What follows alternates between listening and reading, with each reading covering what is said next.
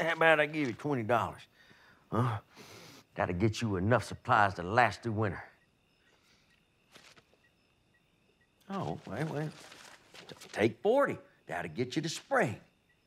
In fact, ah, I'll throw in my lucky gold coin.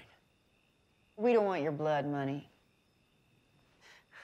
God damn it, is you a woman or a consarn mule?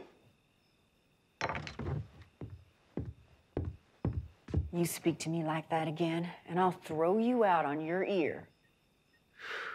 Oh, you know, I like to think of myself as a patient man, but my nerves are worn as thin as my hide. Yeah. Ha! I don't want to hurt nobody. But I will fire this lead in your brain pan. You don't do exactly as I tell you. You plant yourself right there like a cactus. Hester, go on out to the barn, get the horse and wagon. We have no horse. Ate it. The wagon's been busted down since last spring. Broken down. What? You telling me you living all the way out here without even a horse?